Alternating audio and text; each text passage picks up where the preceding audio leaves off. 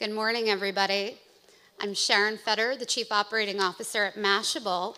So it's Friday, it's the end of November, and it's the end of the year, which means we all need a little bit of sleep, a digital detox, and probably a lot of coffee.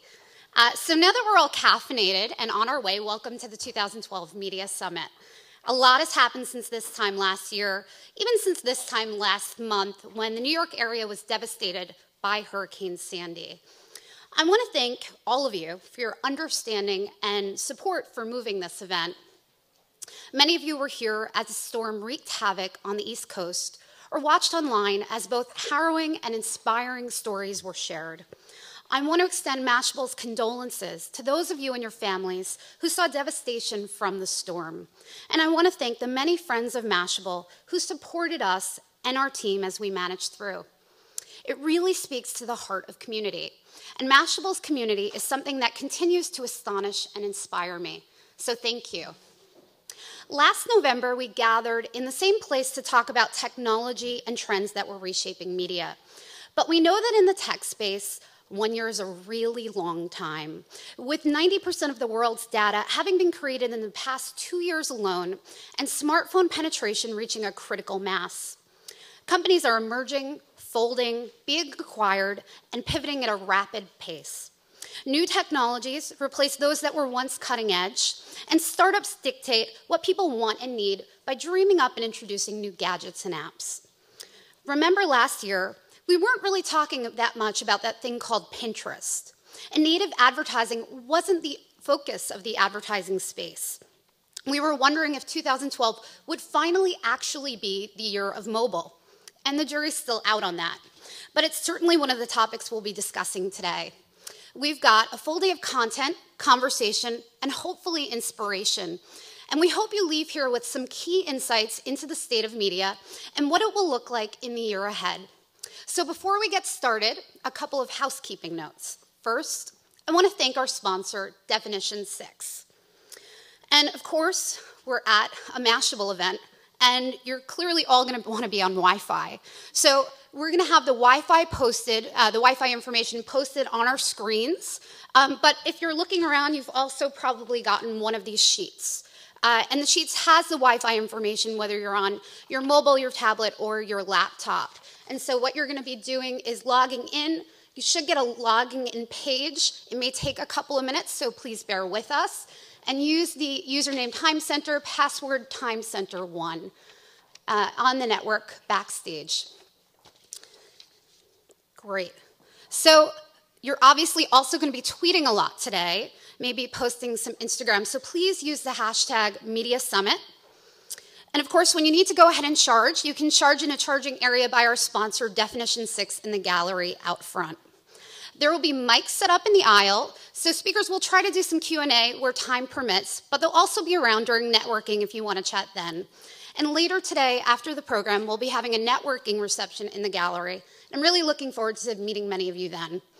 So with that, it's my pleasure to introduce our first speaker, Mashable's founder and CEO, Pete Cashmore. Pete founded Mashable in 2005 in Aberdeenshire, Scotland, his passion for sharing how web tools and social networks were transforming human interactions and reshaping cultures drove him to create what would become Mashable. Today, Mashable's more than 20 million unique monthly readers and 9 million followers across social media networks form one of the biggest online news communities. He was named to the 2012 Forbes 30 Under 30 list. He was in the Times 100, and he was recently a runner up in Mashable's annual Halloween costume contest, where he dressed up as Felix Baumgartner, the Red Bull space guy. There was a really striking resemblance. Pete has been documenting the revolution of media since 2005 and is now at the center of that transformation as Mashable's CEO. Please join me in welcoming Pete Cashmore to the stage.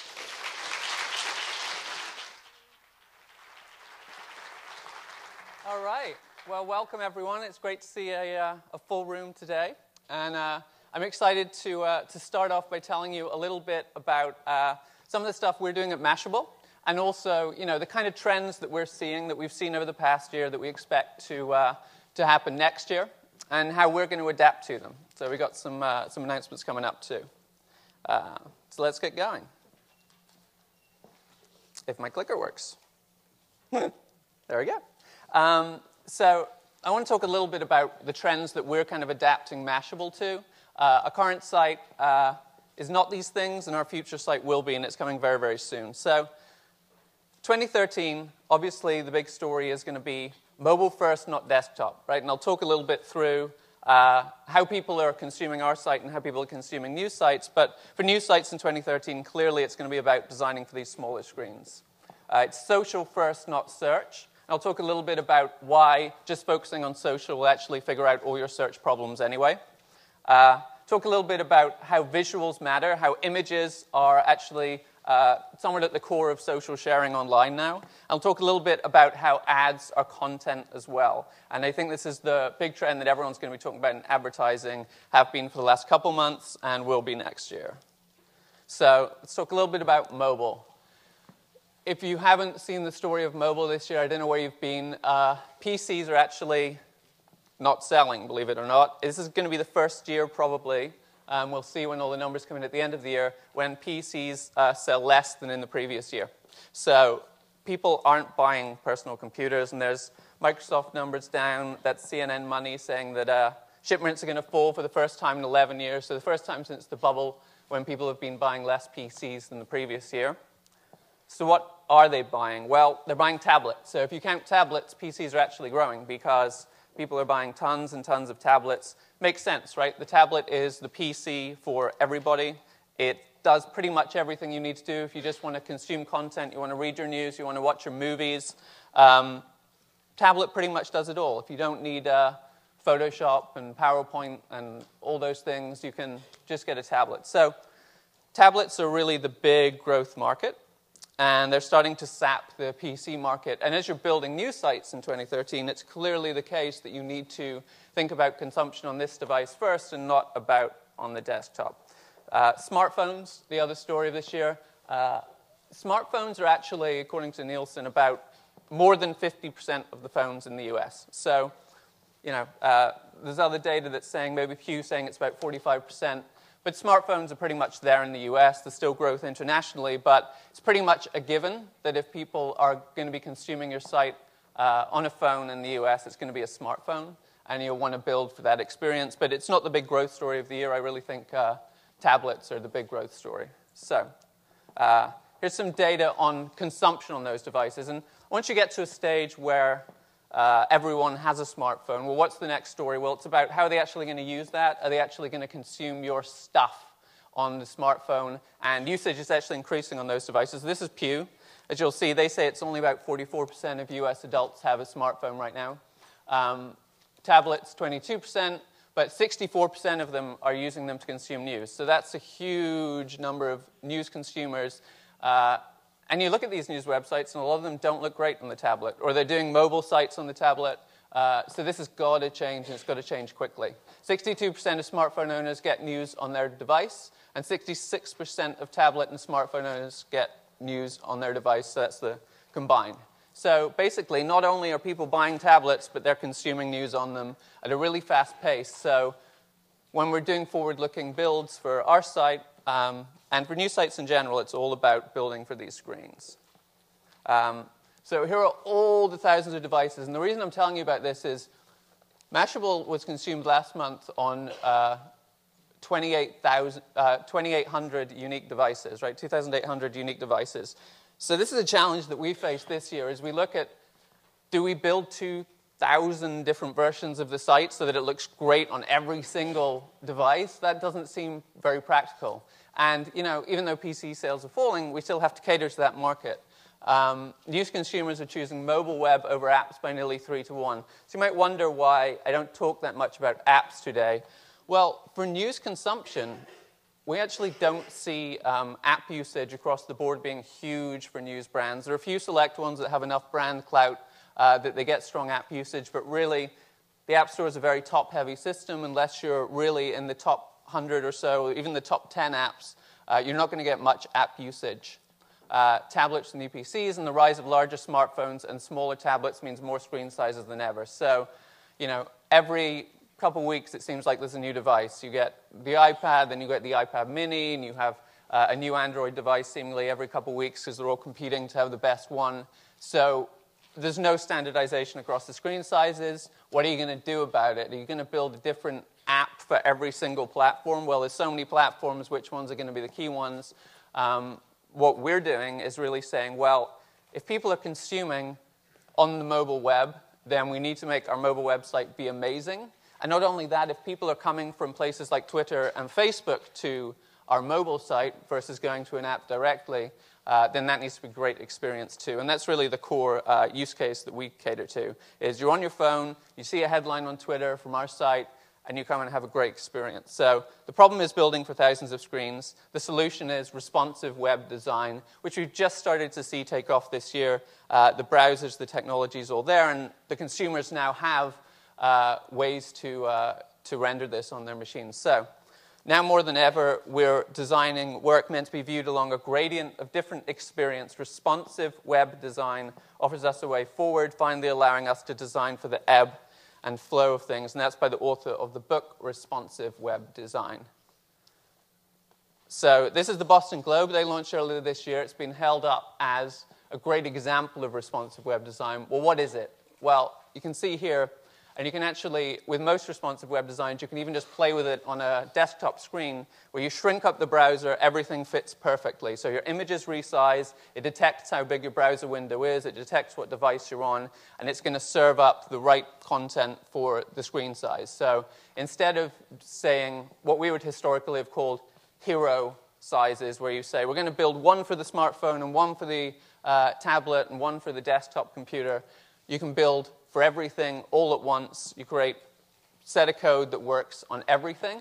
Uh, and the Boston Globe did a pretty good job. All the images resized, the text all goes down to a single column, um, works in landscape and portrait on your tablet devices. So this is responsive web design. You'll also hear a lot about adaptive web design next year, which tends to mean, and these are kind of used interchangeably, but it tends to mean that it snaps to specific sizes of screen uh, versus working to pixel perfect perfection. Um, this is Time. They just rolled theirs out last uh, couple months, I think. Same kind of deal, uh, resizing to every screen. And this is ours, which is actually, uh, I can tell you, coming out on Tuesday. So we're launching on Tuesday a whole new version of Mashable. Um, we've been in beta for a couple weeks. You can still sign up at beta.mashable.com. Um, and what we're doing is a few things which I'll talk through, but fundamentally it is a responsive web design that works on every screen. And you can do the exact same thing. You can sit in a browser and resize your window, and it'll show you pretty much what you're going to see with some exceptions. Um, and the reason for that is we don't want to build 100 times. We don't want to build an app for every single app store. We'll build for the key ones. But when a lot of our readers are coming from social already, they're coming to our mobile website, and we want that to be something really special. But we also don't think that the mobile web should be uh, something lesser than everything else, right? Because right now we serve up a mobile website. Um, but as you can see, uh, we can serve the same content, the same experience, the same everything across uh, every device now. So that's the wonder of responsive design. It's also social first. So when we think about social in search, that's really changed this year. You've seen a lot of updates to, uh, to Google with the various Panda updates. Um, and the old school SEO tactics aren't quite as effective anymore. So the key thing about that is shares impact SEO. There's been a lot of studies out uh, looking into how sharing is impacting SEO. And the key thing about sharing is that it's the new linking, right? Used to be when I started out blogging that people would link to your site to say it was good. And the whole aim of the game would be to make something awesome enough to get a scoop that people would want to link to it. And then when they linked to you, you'd get more credibility in Google's index, and more people would find you, and you'd become successful. Well, now it's about convincing the individual people on social networks that your stuff's good enough to share. Um, and we know that Google is using Google Plus data. Uh, we also know that if you have a lot of shares on social, you're likely to rank higher. So this stuff is being indexed in social and being counted uh, in search and being counted as a vote. Um, also, the audience is sharing now. 41% of adult users take photos or videos they found online and repost them on sites like Pinterest, for instance. And I'll talk through a little bit about images and why they're important too.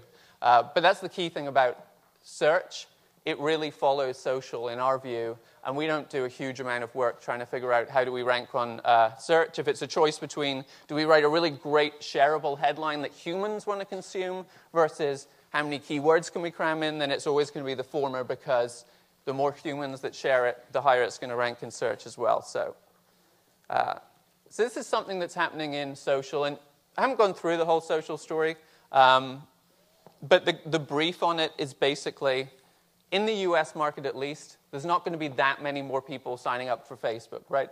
We're pretty much reaching a maturation stage of these social networks, at least in the US. They're growing internationally. Um, but social is now a fairly mature market. And one of the new challenges that arises there is now there's just so much stuff. And the, the new challenge for social networks is well, we've got all the people now how do we get them to engage more? So, how do we get them to spend more time on Facebook? How do we make the content more relevant? How do we make your Twitter experience uh, something more compelling and more useful? So, we're starting to see, uh, you know, I stood up here last year, talked about curation. We're starting to see uh, the social networks themselves do curation layers on top of stuff. Facebook, kind of controversially now, doesn't show you everything you're subscribed to, everything you're following. Uh, it's really putting a filter on top saying, well, what's the most shared stuff? What's the stuff you most likely want to read? Who are your top friends? Can we star them automatically? Uh, that kind of thing. So social networks are now all about showing you the top stuff, the stuff that's getting shared most. Even Twitter, with its new Discover uh, tab, which they just launched a few weeks ago, not only are they putting great images in the Discover tab now, but that's like your homepage to uh, the social world. They're trying to be a kind of a flipboard, right? They're trying to be this is your social start page. We're going to show you all the most important stuff. You don't have to go through your full feed. Um, and I wouldn't be surprised if you know, the defaults on some of these become, especially Twitter, become the overarching view versus being, hey, here's your full feed to consume. Um, so why don't news websites start to do that too? It's historically been, especially with sites like ours that started out in WordPress, it's historically been, well, we're just going to show you everything in a line. We're going to show you reverse chronological. Uh, sometimes we put editorial filters on top, but now we have this treasure trove of data where we can say, this stuff's getting shared, this stuff's taking off on the social web. Um, and what we're playing around with doing, and I think what more news sites will start playing around with doing, is trying to mine that data, be more data driven in the way we present news, uh, so that we're actually surfacing relevant stuff to our readers versus just showing everything in reverse chronological and letting the best stuff drop off the page. Um, so this is uh, what we're doing with our new homepage. The middle column, which is the next big thing, is actually powered by an algorithm. So we have an algorithm called Mashable Velocity. It's a predictive engine that figures out what is about to get shared in the future. Uh, so about an hour after we publish our stuff, we know what's going to be a hit and what's going to be a miss, and we bump it over to the, to the middle column. Um, and as it gains momentum, we move them over to the right column where it's the most shared stuff. Uh, now, clearly, this is you know, very basic in terms of this is the most popular stuff across the whole web, and I think what you'll see with news sites next year is also starting to put in personalization layers, which it says, well, of your friends, what is the stuff you're going to want to read? Um, so visuals are also something that, that we've been watching a great deal this year. Um, obviously, this year has been the rise of visual networking. And all the new networks people talk about are not the basic text updates, the retweeting, the Facebook status updates. They're kind of this movement across. These have been the buzzy social networks of the year Pinterest, uh, Instagram.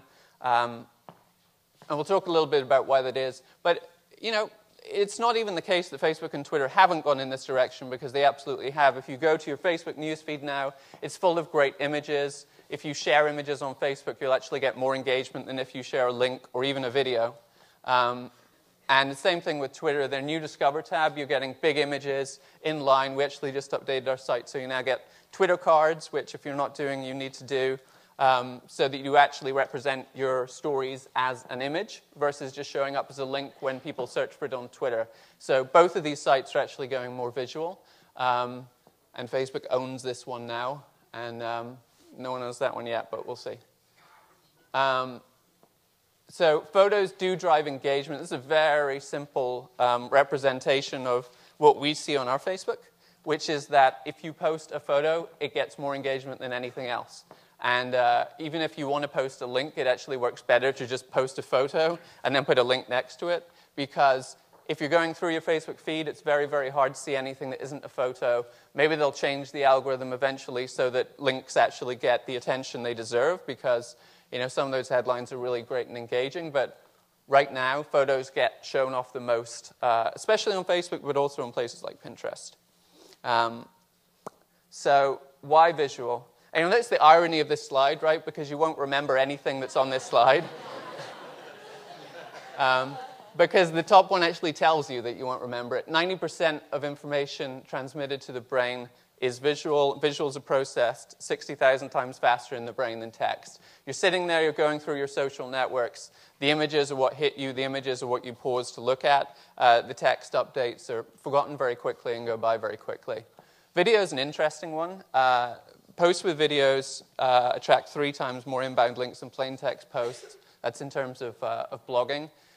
Video on, on Facebook and Twitter right now doesn't really get the attention it deserves and does seem to suffer a little bit, we find, from the kind of the, the pause when people think about, do I want to dedicate the next minute of my life to this? And I think we're going to see, people are always talking about, you know, it's going to be a boom time for video, and definitely mobile video consumption is increasing a great deal. Um, it's continuing to increase uh, in 2012. Um, so we are seeing a lot of mobile video consumption. I think it will be a big thing for us as a company that relies a great deal on social media. I don't feel like video is promoted as well as it could be on the social networks, um, but that's likely to change. But certainly in terms of mobile video apps, I think that's where a lot of the action is in video, is really having an app. It's an experience. You're already in it. You're not sitting on your feed looking at the next thing, scrolling for the next update. Uh, if you're actually in an engaged experience in that, I think that's where mobile video will take off. So this is the big story of uh, next year and has actually been um, the big story of the latter half of this year, which is that ads are content too. And there's a few reasons that ads are content. Um, so one of them is just, and people talk a great deal about creating content for brands, but this is actually a, a more basic approach that we're doing, which is just can you make the ads look pretty on everything, right? Not a 300 by 250 isn't going to fit on every device. A standard IAB isn't going to fit perfect on every device. Uh, so one of the things we're doing is responsive ads, which is um, they can either be adaptive, which is you create standard sizes that snap to each uh, screen size, we actually are building for some of our advertisers responsive ads, which means that it's pixel perfect on every device. Uh, it doesn't matter what screen size you have, we're going to serve up the perfect ad that looks great, that doesn't get in the way of the experience. Um, so, really, anything you do with your content on these new devices, you need to do uh, with your ads too. They need to resize, they need to look great, they need to be responsive as well. Um, so, let's see if my clicker is responsive. There we go.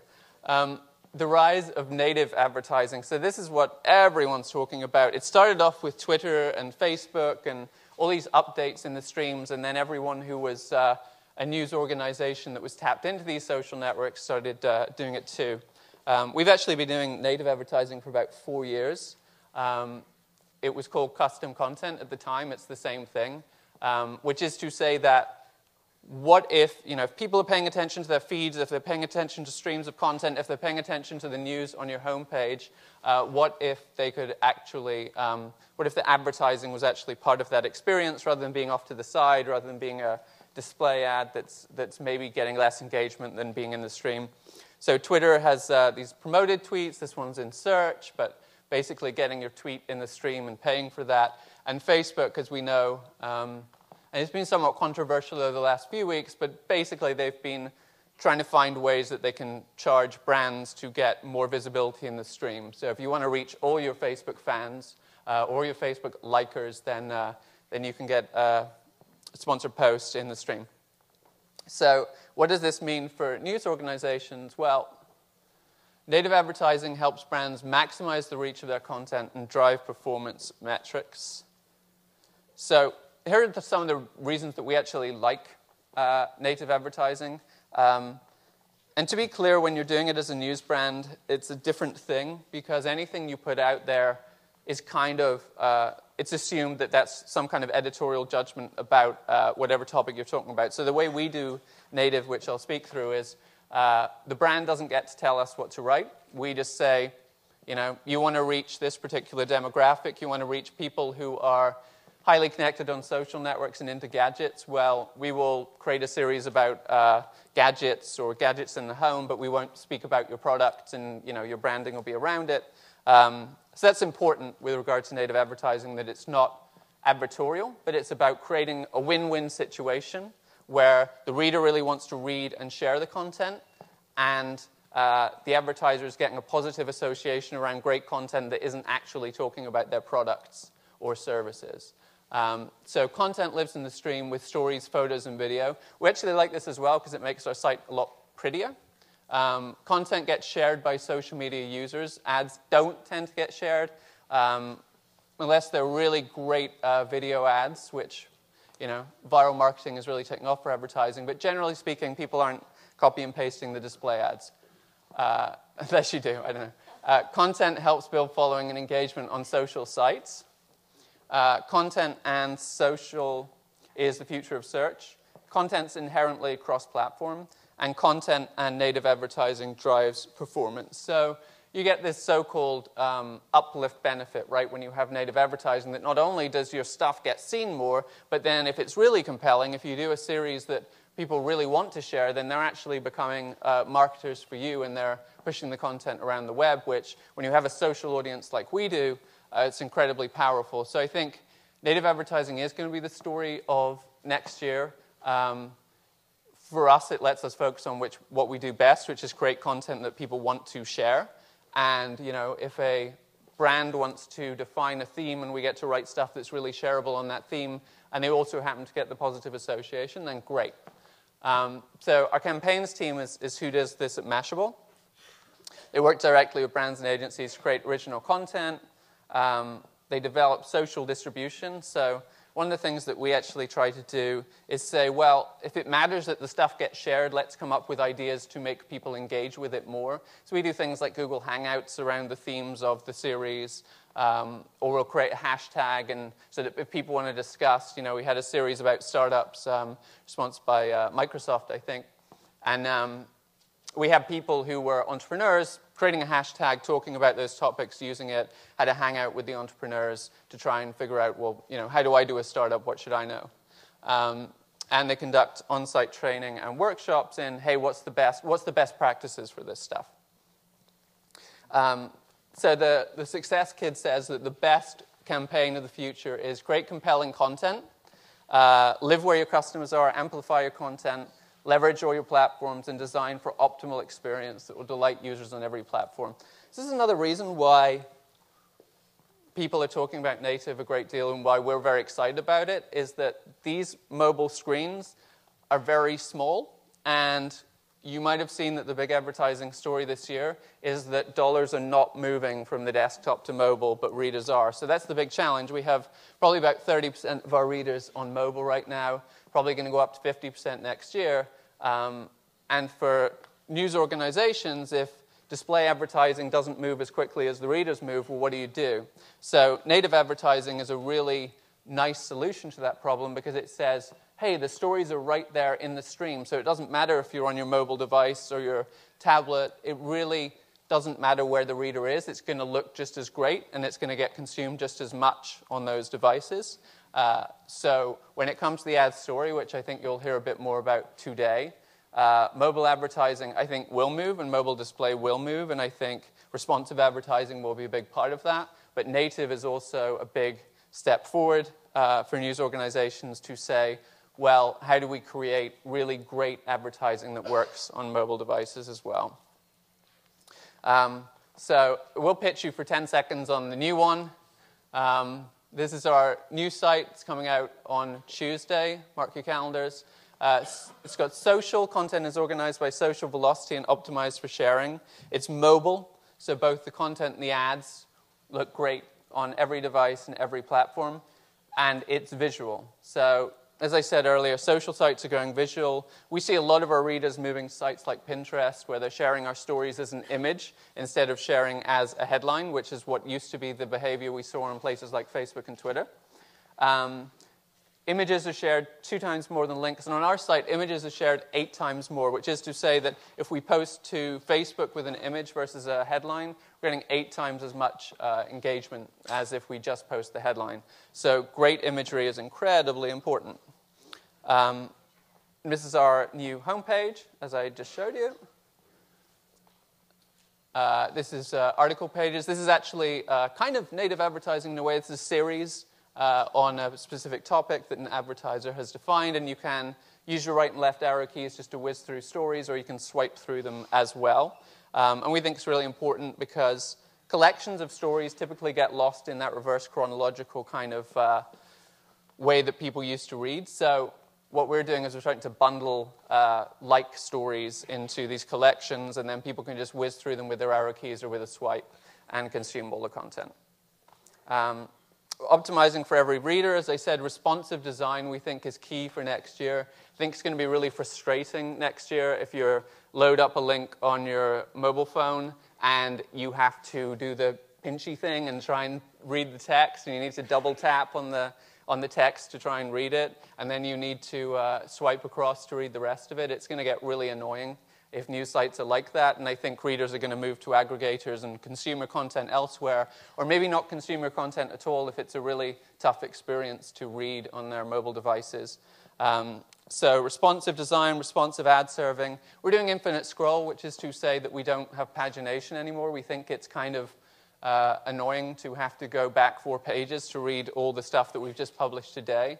Uh, so as users scroll down our page, we're actually going to load in more content, more advertising too, because that's a really engaged reader that's searching for more and more stuff. Uh, and they're paying attention to the stream, right? Their eye line is right there on the content. Um, so that is infinite scroll. You'll have seen it on most social sites at this point. And we think that news organizations should, uh, should consider doing it too. It's very possible now with the new technologies. Uh, and also a lot of multimedia. Um, and one thing I didn't talk through, but I, I guess I'll talk through it on the next one, is we actually don't think that the page is the only shareable unit on your website. We actually see people downloading images and then re uploading them on their Facebook or saving them and putting them on their Pinterest. Um, so we actually uh, think that not only is imagery so important that we're investing in it and we have an image editor and we have our own image library and we take our own images of all the gadgets and stuff we review, uh, but we also think that, uh, that this stuff is independently shareable. We call it micro content sharing. And um, what we do is we break down the page into separate pieces. So you can hover over an image and share it, but also we're doing block quotes, that kind of thing. So if you see a quote in the page you like, you can share that out, and that'll become the headline on your Twitter um, instead of the uh, headline. So we think it's really important to let readers uh, share individual pieces of the story. And what we're actually working on next is optimizing our homepage based on that content. So we can say, actually, this is the best image in this post. We're going to use this to represent it everywhere, and we're going to have this image be the default one that's shared if people don't select a specific image. Uh, so breaking down the page into individual components is something that's now technically possible. It's definitely not easy, but it's technically possible, and we've done it, and we think it's going to be awesome. Um, and we're also starting to uh, do a lot of inbound image licensing so we can get really great big photo- uh, photography. Because one of the other trends that's happening right now is that people are starting to get higher and higher resolution uh, machines on their desktop. Those few people who are buying PCs are buying super high end ones like uh, Retina MacBook Pros, where uh, if you don't have the highest resolution imagery and you don't have the largest, best imagery, it's starting to show uh, on those screens. So we're doing that too. We're also rethinking display. We're displaying the ads in the stream now. We're, uh, we're loading ads as the user scrolls. Once you get onto a new page load, you're getting new ads. And uh, they're optimized for every device. And they can tell stories. We're actually doing, and I'll talk through these a little bit, I might be on the next one. Um, we're actually doing something we call Storyteller. They look a bit different now that they're actually live on the beta site. But the idea of this is that you can have ads that tell a story down the page. So you could say, Top 10 tips for mobile photography. Number one goes there. You scroll down to the next page, you get tip number two, you get tip number three. And then as you uh, get to the bottom, maybe, maybe there's a, a, mention of the brand or something. But the idea is that, uh, that you can tell a story down the page and that the reader might actually scroll to view the ads, which we think would be really fun if they actually were looking to view more ads because they were useful enough. Uh, so that's storyteller units, tell a story as you go down the page. They're probably going to be in our left column. Uh, we have native ads in stream. So uh, of these units, uh, anyone can be uh, an ad, as it were, which is just to say it's content that an advertiser uh, backed, but we decided what it would be. Um, we're also doing brand lift units. This is something we're experimenting with, which is to say that if a brand wants from us to be socially shared and to reach a really influential audience that shares a great deal, do they already have great content out there that does not talk about their brand, but which is really useful to uh, an influential audience online? Uh, so, in some cases, we're actually experimenting as well with let's just give lift to your stuff. Uh, and, and, if it's super shareable and we put it in front of our audience, presumably it's going to be even more shareable. And not only that, we can tell you of all your stuff what's going to be the most shareable because we have an algorithm that predicts that. So uh, that's what we're playing around with now is to say what's out there that, that our readers are going to really want. Um, we're also, obviously, as I was saying, we're doing responsive advertising that resizes perfectly to every screen. Um, this is our native ad solution. We've been doing this, like I say, for four years, but now in the new site gets even better placement. Um, it looks really good. It's just like a story you want to read and engage with, and they get many, many more, more clicks. And not only that, but the advertising that we put around uh, native advertising, the, C, uh, the uh, display advertising gets clicked about twice as much on our site um, than versus on a, on a normal post. So not only do you get all the benefits of uh, actually having a story that's read and consumed and shared. But when people actually read that post, they're far more likely to click on the display advertising as well. So it's kind of like a huge halo effect that goes around it. And that would indicate to us as well that maybe display isn't dead, that it just takes you know, a bit of packaging. If you put in the extra work, if you put in native advertising with it, then display becomes twice as effective. Um, so here are our four rules uh, for news websites in 2013. They've got to be mobile first, not desktop. Build for the screen right here, and everything else flows. Um, this is actually something we experienced when building the new site because we started off building for this big screen, and then we realized that this tiny device could not load all that code very quickly. So what we did was we scrapped it and we started again building for the phone and then building out because that was the device that uh, had the least processing power, so needed the smallest footprint. Um, so if you build for mobile first, everything else follows. And what's also nice about designing for the phone is that your actual website ends up being a lot simpler because you're really forced to think about, well, what don't we need? Um, social first, not search. This is at least the way we think about things. Um, you have huge archives of content, and I'm sure they get searched a lot, but what we're finding is that really if we focus on social, um, that everything else follows. The more social shares we get, the higher we rank um, with those stories. Visuals really do matter. Uh, great visuals are shared many, many more times. For us, it's about eight times as much on Facebook as doing a text based update. And for these new screens, they need to be really high quality. And by the way, people really, really like to consume your stories with a visual to hook them because they can figure out what the story is about much, much faster. And that's why on our new homepage, there's really huge visuals. We consider them to be gaining importance. It's not just about the headline as it was when you were sharing it on Twitter. Originally, it's now about, well, what if they share it on Pinterest? What if they actually want to share the image on their Facebook? Um, and we want them to do that because that story will get more engagement if they share an image. Um, Ads are content too, so native advertising is going to be the advertising story. I'm sure we'll have some people uh, talking about ads and this trend, but essentially the reason that native advertising is taking off is it's socially shareable. People want to engage with it. It gets a lot of uplift on social networks, and we think that we have the, the best audience to do that because we have the online influencers. But it's also because it works great on mobile phones. And because that is the smallest screen, and because the display ad while it will look great and work there, it's not going to be as huge as if you had it on a desktop. So the key thing about native there is that it looks great on mobile phone screens. It's just as shareable. It's just as easy to consume on a small screen. Mobile first, social first, visuals matter, and ads as content. I would say are the four things if you're uh, working on news sites in 2013, if your news site is not looking amazing on uh, mobile devices. Um, or if you're consuming new sites, you'll start to notice a little bit in 2013 that if they're not looking great there, that you might want to go elsewhere. So increasingly, experience, user experience is really important.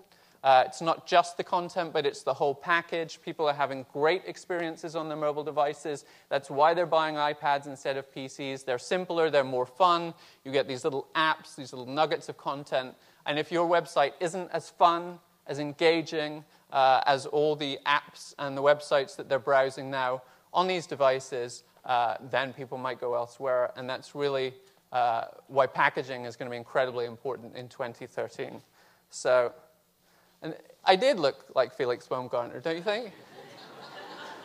huh? Thanks. Thanks, guys.